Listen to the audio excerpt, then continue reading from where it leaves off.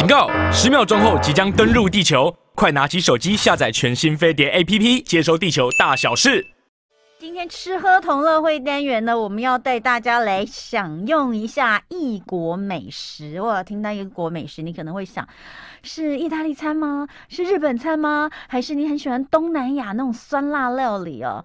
如果我跟你说都不是，我要带你去英国吃美食，哎，可能有人马上就会嗤之以鼻。英国有什么东西？除了这个呃薯条跟炸鱼之外，还有什么美食？哎，我觉得英国真的算是一个美食沙漠，哎，我自己觉得啦。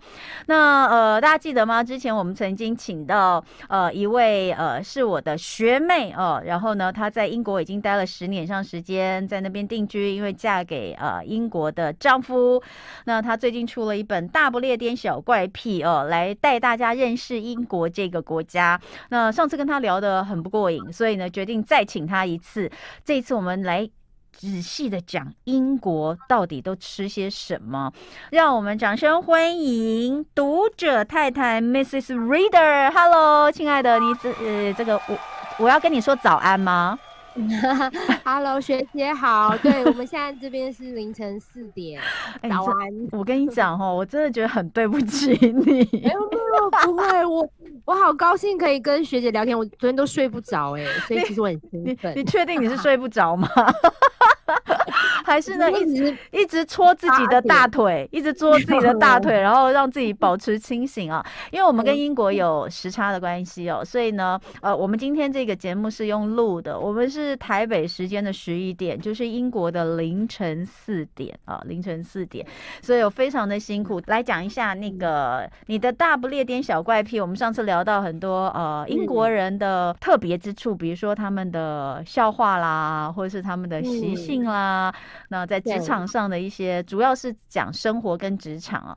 但是其实我对于你书里面其实写到一些有关于吃的部分很感兴趣。因为其实这本书除了讨论他们的思想观念跟行为以外，还有很大一部分是食衣住行生活的部分这样子。那呃，这我要跟学姐分享一个好消息，这本书其实上市两个礼拜已经二刷了，我非常高兴。哦，恭喜你！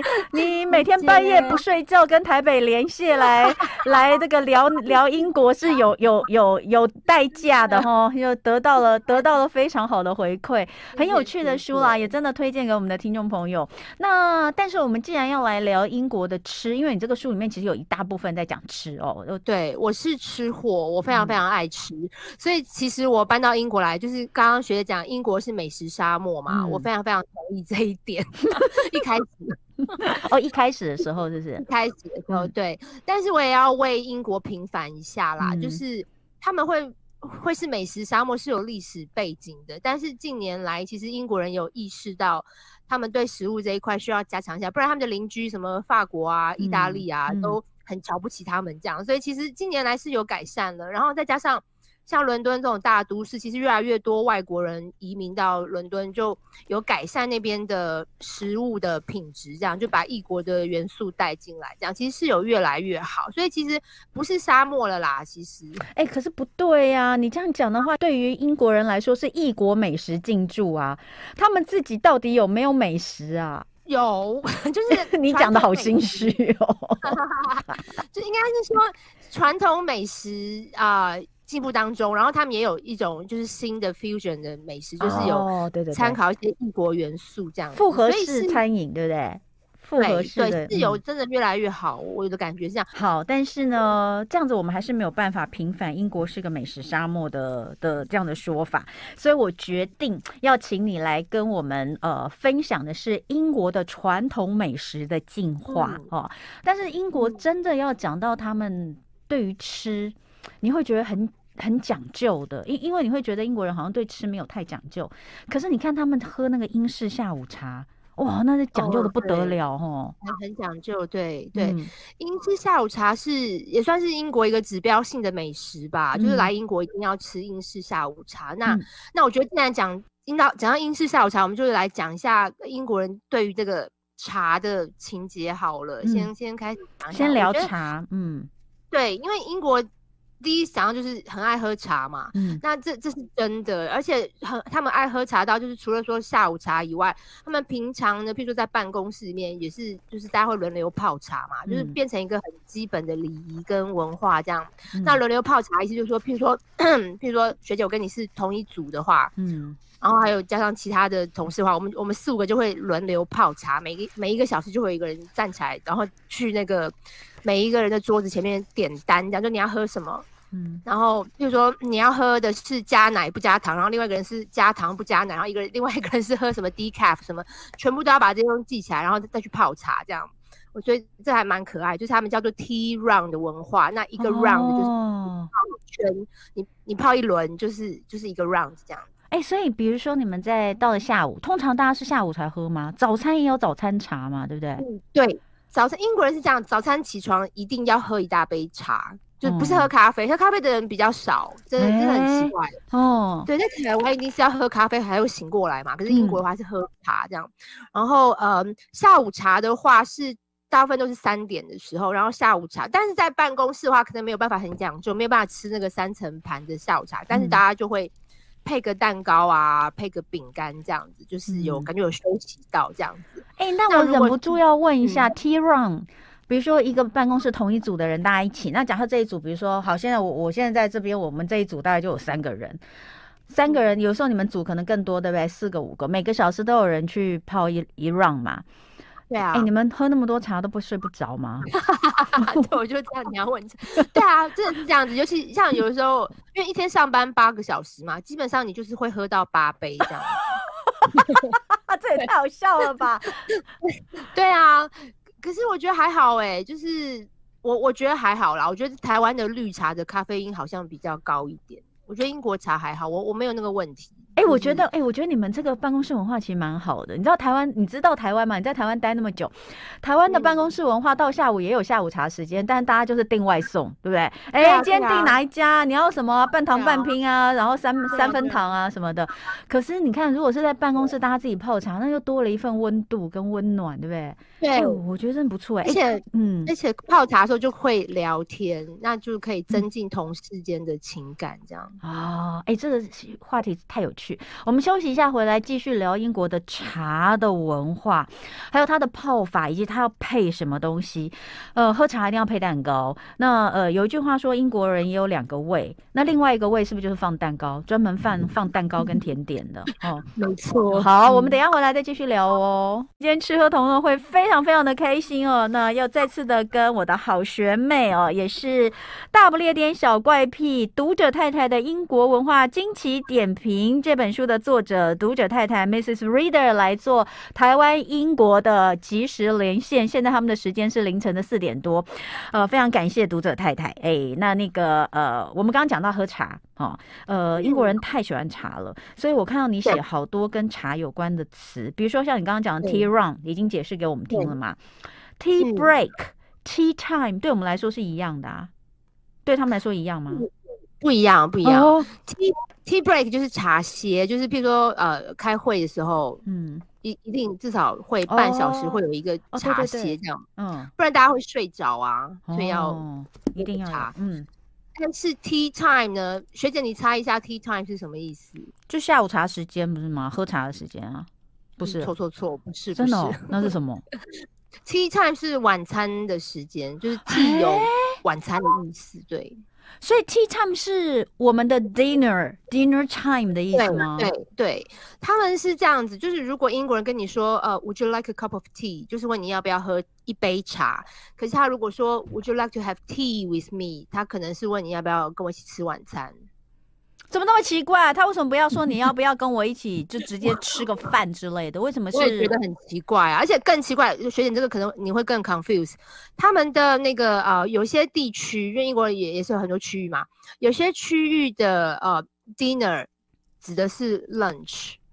啊 tea 才 dinner，对，很很 confused，真的，真的，真的，真的，他们真的是这样。一开始我也是搞很久才搞清楚，有一些地区，像譬如说中部或一些劳工阶级的人，他们讲 dinner 其实是说午餐的意思，然后晚餐他就是说 tea 这样子。所以一开始我是真的搞不清楚，很很久以后才分清楚哦，原来是有这样的差异。那其实其实说真的，英国人有时候因为这是有区域的差异，有时候不不同区域的人有时候也会搞混，这样就是到底他讲的是午餐还是晚餐这样。哎，那所以他们有 lunch 这个这个这个这个有有这个说法也是有吗？嗯，对，也是有。可是可是很奇怪，因为像譬如说我儿子现在小学嘛，他们每天午餐的时候就有那个午餐的营养午餐的阿姨嘛，帮他们弄那个就是弄午餐这样。嗯，那个阿姨叫做就是叫做呃 dinner。啊，就是叫做 dinner 阿姨这样子，就很奇怪，好奇怪，真的好奇怪。对啊，果然很 confused。哎，可是我觉得哈，如果是这样，我们女生刚刚去英国，很可能会那个意会有错误的意会。比如说你刚刚讲，假设有个男的对我有意思，但我不知道，然后他说，呃，你刚刚说，Would you like 呃 have a have a have a cup of tea with me？是不是？嗯，我可能以为他就是说，哎，我们喝个茶，那我觉得还 OK。但我答应之后，发现原来是要跟他吃一顿晚餐。哎，共进晚餐跟喝一杯茶是不一样的。对啊，但是其实这也要讲到英国人的民族性。他如果真的会邀请你喝呃吃晚餐的话，表示他对你一定很有好感的，因为英国人不太让不熟的人去他家。对呀，所以如果是这样，但是我也我我可能会以为只是喝个茶，你知道我们常常就去喝个茶嘛，这没有什么嘛，结果就等于是他他有意，可是我无就是郎有情，可是妹无意，却不小心吃了一顿晚餐，哎，这个大家真的要搞清楚人家的这个用语哈。好，那呃，但是其实你有讲到他们的晚餐时间跟台湾很相近。诶，这个是指说这是什么意思？不是每个国家的晚餐时间都跟台湾很相近吗？不是啊，如果学姐有去过呃南欧的话，什么意大利那那种地方，西班牙、法国的话，嗯，都是九点才吃晚餐嘛，那就很很辛苦啊，就 要等到很晚这样，然后吃完也十二点这样。但英国就不会，英国觉得这点跟我们蛮像的，就是大概六七点就一定会吃晚餐。那这个其实跟他们的工作作息是有关的，因为呃，英国人其实通常是五点下班嘛，然后那因为如果说早上八点开始上班，五点下班的话，其实工作时间没有很长，因为英国人是不加班的。那很多英国人为了要准时下班，其实他们的午餐是吃的非常随便的，很草率，这样就是一个。三明治，而且那个三明治还不是我们美而美那种哦，他们三明治是冷的，对，那个超难吃的，嗯，都冰的，都冷的，没有什么饱足感那种三明治，所以他们通常五点下班以后，他们就。就是晚餐时间了，就就大家都饿了嘛，所以大概五六七点一定会吃晚餐。嗯，因为他们午餐吃的也真的是比较简单。你知道，像我同学啊，他现在是在荷兰嘛，那他就是讲说，那个早上他们小孩都会自己做那个，他就说就每天帮小孩带午餐。然后我看到那个午餐，我就想说，你小孩吃这样不会抗议吗？就都是三明治，哎，真的都三明治，他们的午餐就是就是就是两个三明治。哦，然后他就说为什么会抗议？这里所有小孩都吃这样，我们家三明治还比较丰盛一点，里面加的东西还比较多。对啊，好，那三明治这件事情我也是很很不能适应。我觉得午餐一定要吃热的，但是他们都。没差，他们都习惯。对呀，我也是问他，我说那三明治你你有就是还在加热或是烤吗？他说没有啊，就早上去就是冷的，到那边还是冷的，大家都习惯这样吃啊。啊，难怪晚餐要吃多一点。还有我们讲英式的泡茶法，上次其实有聊到一点点哦，就是牛奶跟茶哪一个要先加？你说其实，在欧洲是不一样的，英国跟其他国家不一样哦。对对，英国人的话是，其实最早一开始的时候，是因为英国的茶具都是骨瓷嘛，那骨瓷很薄，那如果你倒滚烫的茶花，它很容易裂开来，所以他们就发明一个方法，就是先倒牛奶，那牛奶是冰的嘛，对，然后所以到时候茶倒进去的话，就那个温度就降温这样子，所以这是一开始的时候，他们觉得。就是有这个背景，这样后来，嗯，其实英国人我觉得还蛮聪明的。如果你你先倒牛奶的话，其实你比较容易能够掌握那个茶的浓度。如果你是后倒的话，其实可能就是那个茶可能都已经满满的话，然后你那个牛奶也对，所以其实我觉得他们还蛮聪明的，而且他们觉得这样子泡出来的呃茶是味道是比较好的。嗯，跟那个欧陆人比的话，他们觉得欧陆人不会泡茶，他们 其实这一点他们还蛮有趣的，他们觉得他们自己泡茶是全世界。最好喝的，不过英式的茶真的是蛮好喝的。然后我们就要讲到那个下午茶，因为我去伦敦也就那么一次。上次有跟我上次有跟你讲嘛，我那时候是因为伦敦地铁爆炸案的时候去采访一个礼拜嘛。那呃中间每天就是过得生不如死，只有在回来之前我就要求我说不管。呃，我也没有什么好要求，因为反正我们就是两组人，四个人，我说什么就算什么。我就说我一定要去吃一个下午茶。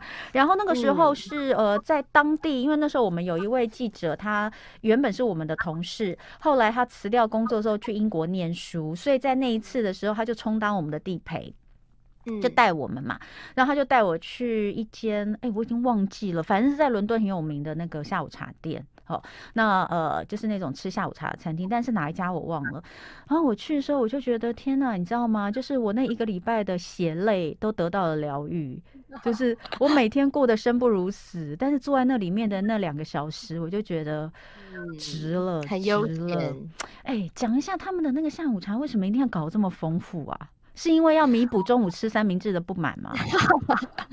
应该是说，呃，下午茶其实如果从历史上来讲的话，其实下午茶一开始是给劳工阶级的男性吃的，不是像我们今天印象中是那种上流社会女女生专门在吃的。对，一开始是这样子，然后而且下午茶一开始还有个名字叫做 high tea，high tea 很高的茶，高那个架子吗？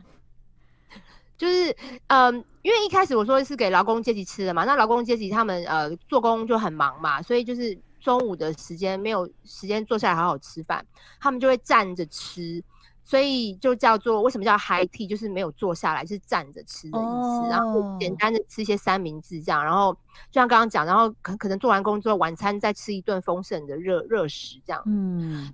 叫 high tea，那后来这个风气渐渐的，就是传到上流社会化，贵族之间也很喜欢，就是下午的时候吃一个，就是就是在午餐跟晚餐中间有一个呃 break 这样子，所以就渐渐的变成一件很风雅的事情。那刚刚学姐你讲的，应该是我在想，如果伦敦最有名的话，应该是 Ritz Hotel 里面的下午茶吧？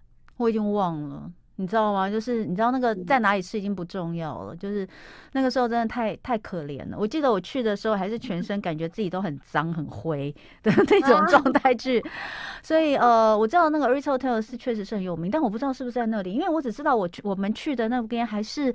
我的就是我说我们我以前的同事，然后那时候在那边读书，他还是特别在我们就是还要帮我们先预定的，就是也是就是他那个是不是那么好定？但是当然在那个期间呐，因为是那个伦敦地铁爆炸案那个期间，其实相对的比较人比较没有那么多。哎，但是说真的，呃，我看你的书我才知道，我们平常都说嗯爱蛋糕爱甜点的都是女生。可是你说英国其实男性非常喜欢甜食跟高热量的这些蛋糕，如果真的要比的话，男生可能比女生还多。对，这是我发现的，英国男的很喜欢吃甜食。然后英英国有一个 phrase 叫做呃 sweet tooth 嘛，就是甜牙齿。嗯，对，很多男生都有甜牙齿，就是非常非常喜欢吃甜食。像我老公就是，我们家的那个巧克力啊、蛋糕什么都是他在吃。哦他有一个柜子，里面都是他自己的那个。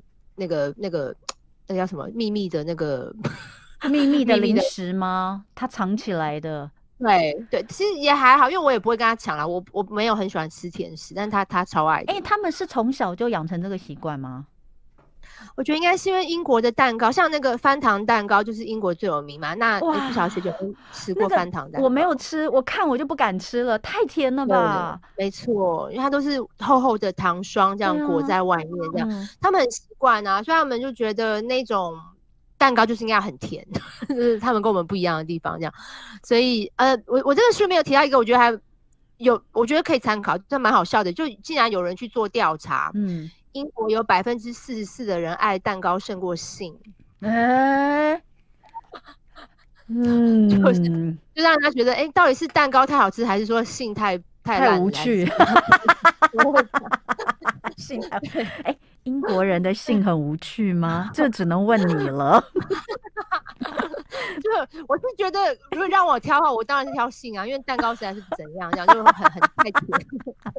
哎，突然间变成深夜节目，不过反正你那边时间就是深夜。哎，所以呃，有一个数字，你你你有写到，就说平均一个星期，英国人平均一个星期可以买到三次蛋糕。对，然后百分之四十四的人爱蛋糕胜过于性。哦，对，热爱高热量甜食是以男性为主哦，这个真的都是我们可能就是你在台湾很难想象的哦。然后呃，蛋糕的地位在英国是非常高的。然后你有写一个数字说，平均每个月烘焙蛋糕四次，这是指一般人吗？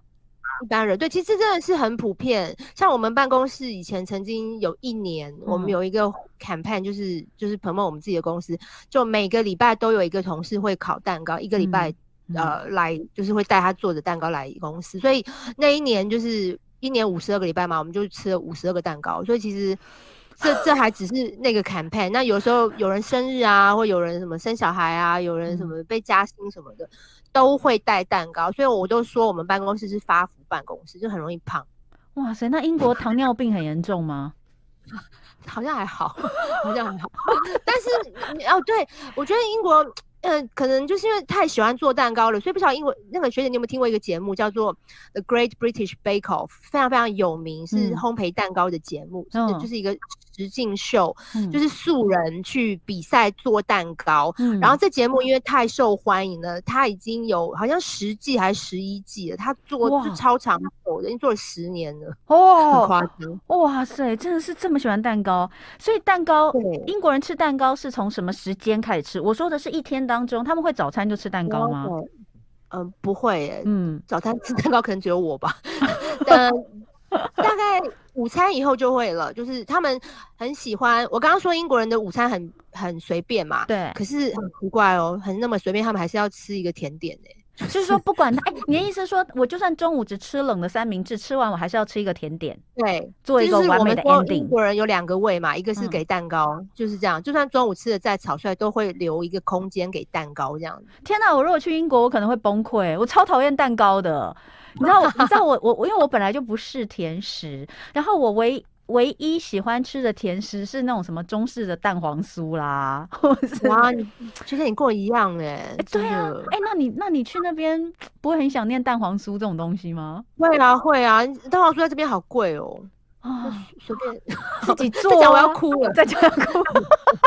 这边吃不到什么日式、台式的甜，就是有啦，但很少，大部分都是那种欧式的、英式的。就我也是觉得没什么兴趣。你知道，你知道曾经有人送过我一个翻糖蛋糕，然后我把那个糖剥掉，吃里面的蛋糕。我也是啊，那个真的那个没有办法，那个就是好看，重看不重用，那个那个吃起来就是很甜，死甜可。是英国人是连外面的糖都吃的吗？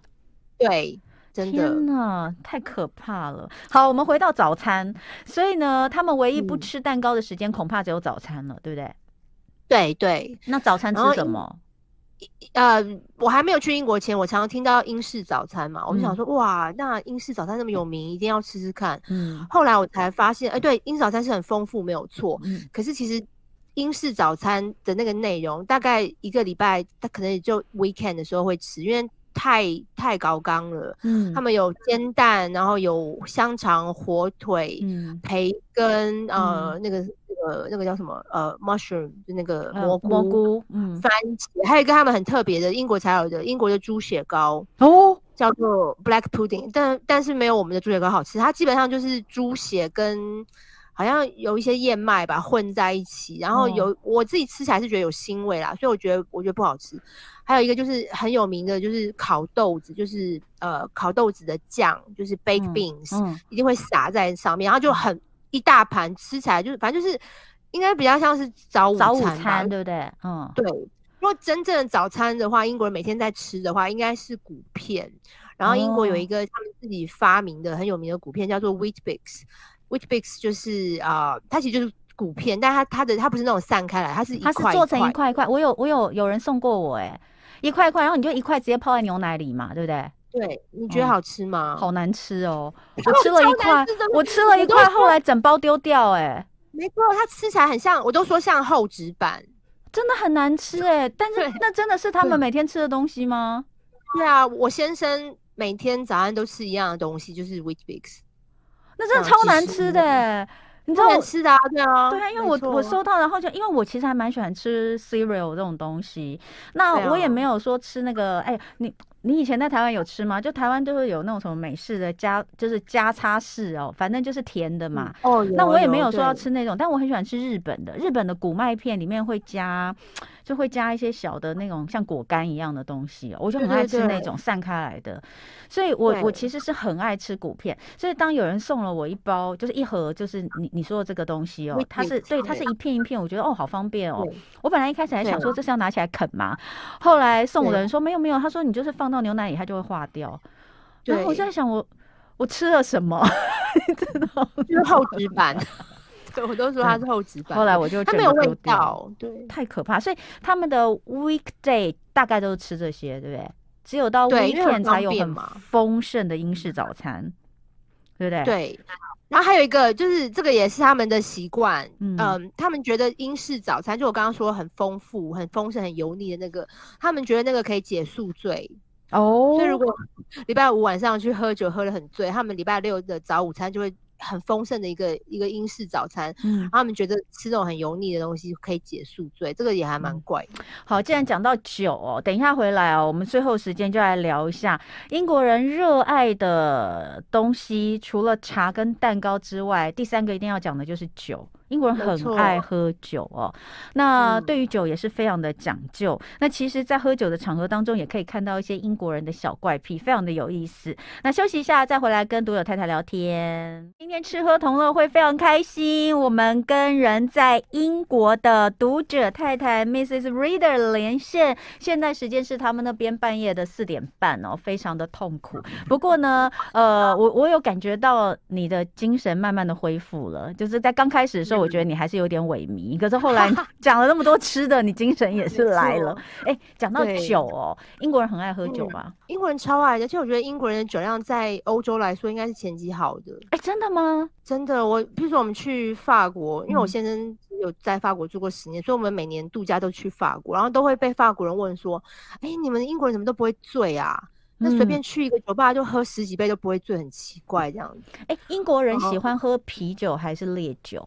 都有哎，啤酒是一般的嘛，那他们也很喜欢喝 whisky，这样就是如果去 pub 的话，一定是喝啤酒，因为英国的啤酒就好多种啊，就是不像我们我们台湾大部分就是喝那种 lager，就是淡啤酒这样，英国很多种，有黑啤酒啊，然后有那种纯麦的那种，反正很多很多的口味，就是他们自己很讲究这样。那如果要喝到 whisky 的话，可能就是比较。可能就是因为有些人可能因为喝啤酒很容易饱嘛，嗯，很容易胀这样子，但是 whisky 就比较不会，所以有有一挂人是专门喝 whisky，也是有这样子。所以英国人爱喝酒的程度哦，比如说他们会每天都喝吗？对，有有些人每天都喝，可是他们有一个很奇怪的坚持，是他们天黑以后才会喝酒。哦。那是要十一点以后才喝酒吗？没有了。夏天的话，可能就是要比较晚。一一般来说，大概五点以后喝。如果你五点以前想要喝酒的话，要有一些借口。譬如说，我们刚刚讲下午茶哦，嗯，其实你去下午茶的时候，现在你是可以点香槟的，哎，哦，就是一样是三层盘有蛋糕，然后但是你可以把茶换成香槟这样，嗯。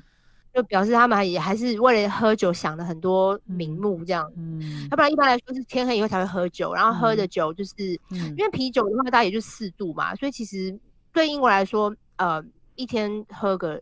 一个 pint，两个 pint，我不晓得学姐你知道 pint 是什么意思？它是英国的那个度量衡的单位。一个 pint 就是一个品托这样子，一个品托其实大概是差不多五六百 cc 这样子，所以其实还蛮大杯的。那他们可以随便一个人就可以喝个两三 pint 这样。哦，就跟我们说来个一手啤酒，就是六瓶。呃，六小瓶这样子，就是有一个对，有一个哎，这这很有趣哎。你刚刚讲到这个，这个，这个是他们的一个度量衡，这个是品托嘛？那当然品托不是只有用在酒啦，所有的饮料、牛奶也是，他们也是用品托来算嘛，哈，没错，蛮有意思。但是台湾就有一个特殊用在啤酒上面的，叫做一手啤酒啊，这个也是蛮特别的。台湾人很爱喝啤酒。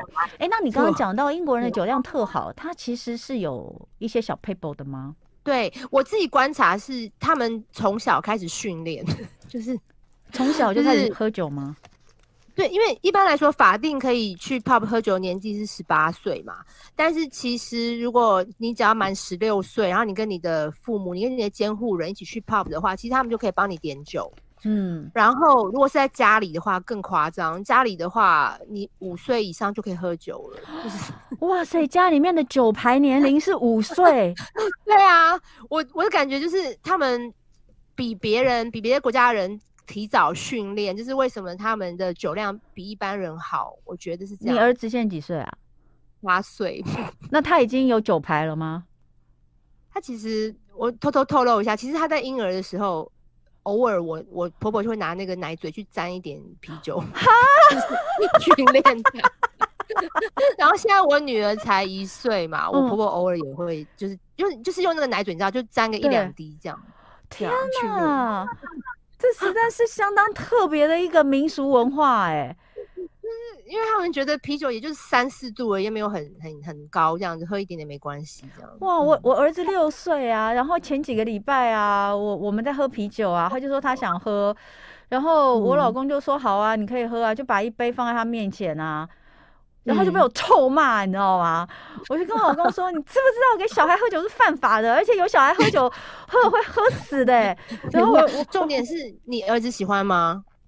我老公就因为我们喝的那个是有一点点水果味道的，他沾了一点点。因为我老公的意思是说你放心，他也不会要喝的，因为小孩通常都是喝一口就嘞，好苦，对不对？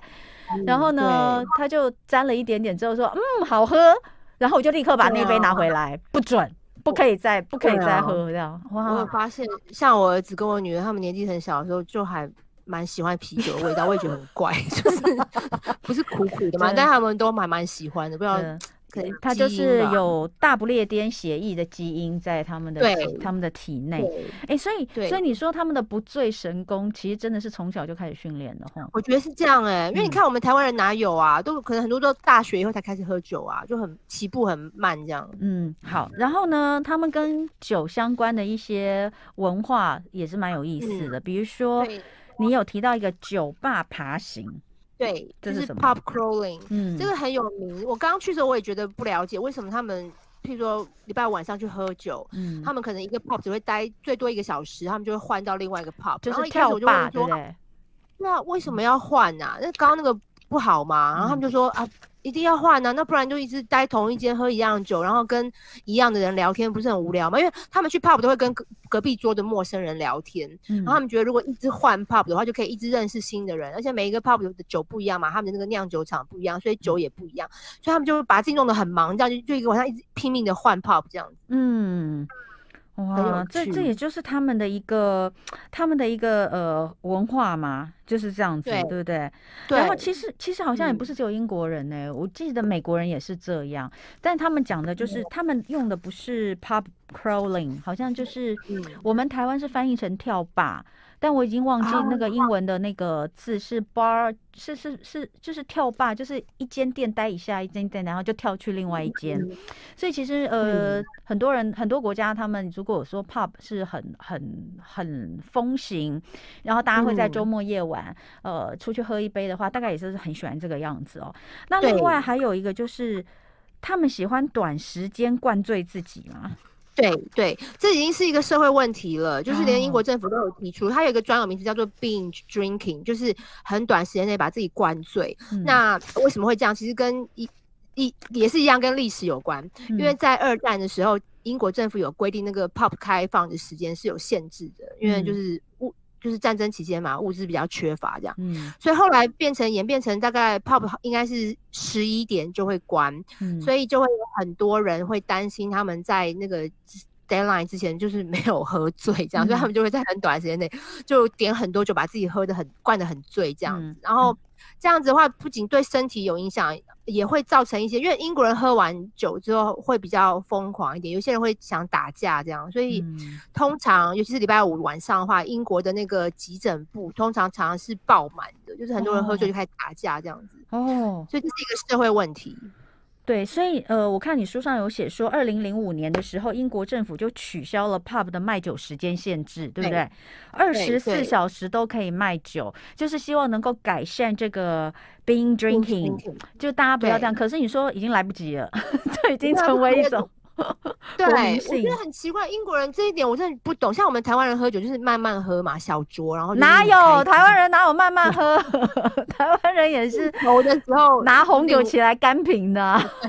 对对，而且台湾人还会劝酒，对对。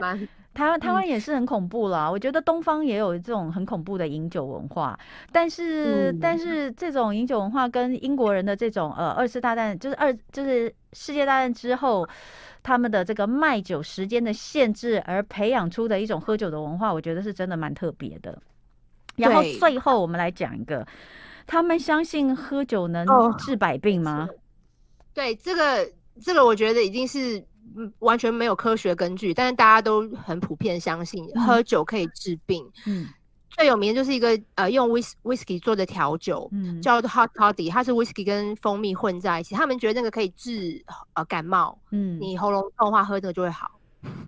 所以你喉咙痛的时候，你书上写你喉咙痛，然后你先生，你先生叫他叫你叫你喝喝酒是不是？对，他就他就泡给我喝啊，他说因为而且那个要要还要加热微波炉加热，让它变得。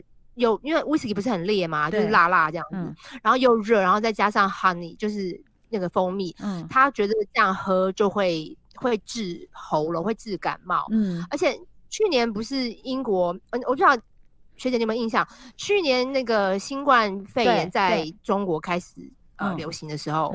有一个英国人，英国的英文老师在武汉教书。嗯，他跟全世界的人宣称他是喝 hot toddy 治好他的那个新冠肺炎，这样。哇，hot toddy 就是呃刚刚说的 whisky 加蜂蜜加热，对不对？对，对他相他觉得他觉得他自己没有进医院，他是喝那个喝好的这样。了不起耶！所以这已经变成了这个嗯，就是真的是发扬到海外哦，从英国本身。哦，对，还有另外一个就是 Guinness，Guinness 就是黑啤酒 Guinness，嗯嗯，他们觉得喝那个，因为里面富含铁质，所以对身体很好，嗯，每次就要喝个一两罐。那为什么不要直接吃铁呢？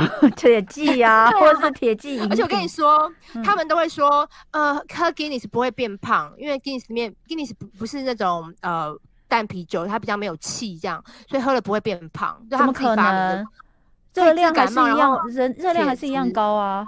对啊，就是他他们就自自己催眠啊，反正就觉得喝酒对身体很好，这样要常喝这样。啊，所以这真的都是蛮有趣的哦。不过呢，还是要提醒大家，喝酒不开车，开车不喝酒，因为听我们节目的很多人都在开车。对，哎，英国在英国也是，喝酒绝对不能开车，很严很严重，他们酒驾也是罚很重，对不对？对，会被罚钱，而且还会吊销执照。嗯，好，哎，今天超开心的，不知不觉就到了你的凌晨快要五点钟了，天亮了吗？对，我要我要我要去喝我的早餐茶了。哎，非常谢谢读者太太 Mrs. Reader 又来跟我们分享很可爱的，对啊，英国吃什么喝什么。当然，更多的内容都在他的大不列颠小怪癖读者太太的英国文化惊奇点评里面。然后，我们要再次的恭喜读者太太，呃，才刚刚上市没多久，而且是在这种疫情期间哦，都没有办法做什么宣传的时候呢，他就已经二刷了，非常非常恭喜！你应该自己也觉得蛮意外的哈。对啊，很高兴，谢谢，当然要谢谢学姐啦。没有没有没有，最有趣。现在第二集，对啊，下次来英国的话，我带你去吃好吃的下午茶跟呃炸鱼薯条。好，下次不知道是几年后，现在我们连换一个县市都觉得有点困难。希望那一天赶快来到。谢谢读者太太，谢谢你哦，赶快去休息一下，拜拜，拜拜。